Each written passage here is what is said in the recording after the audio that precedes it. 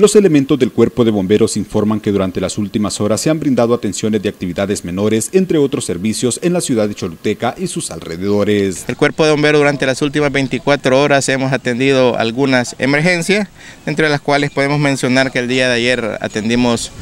un reporte de ciudadano en que en el Boulevard Chorotega estaba una persona tirada ahí frente a una agencia bancaria. Se desplazó una ambulancia hasta el lugar, al llegar pues paramédicos realizaron la evaluación a una persona del sexo masculino de 23 años, quien presentaba un cuadro, de, un cuadro convulsivo, por lo que fue trasladado de inmediato hacia la sala de emergencia del Hospital General del Sur. También en horas de la noche atendimos un traslado de paciente por enfermedad común de, diálisis de Honduras hacia el Hospital General del Sur.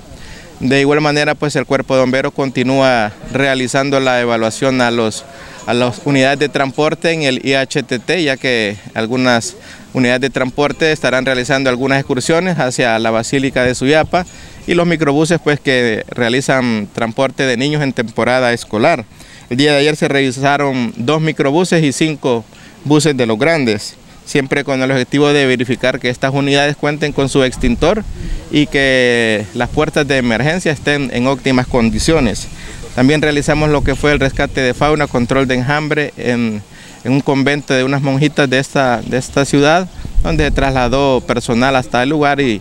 se comprobó que el enjambre estaba en el cielo falso, realizando el control de dicho enjambre. También en barrio La Ceiba se, nos reportó un ciudadano que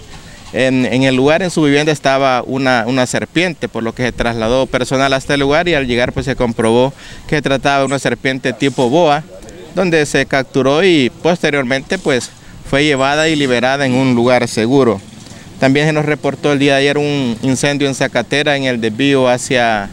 hacia Nuevo, se trasladó una unidad contra incendio hasta el lugar, pero al llegar pues se pudo comprobar que, que, se trataba de una falsa alarma de este incendio en Zacatera. Es lo más relevante durante estas 24 horas. Los bomberos permanecen anuentes ante cualquier emergencia que se pueda presentar en la ciudad durante las próximas horas. Para Metro TV Noticias y la 107.5 Radio Ilusión, Francis Hernández.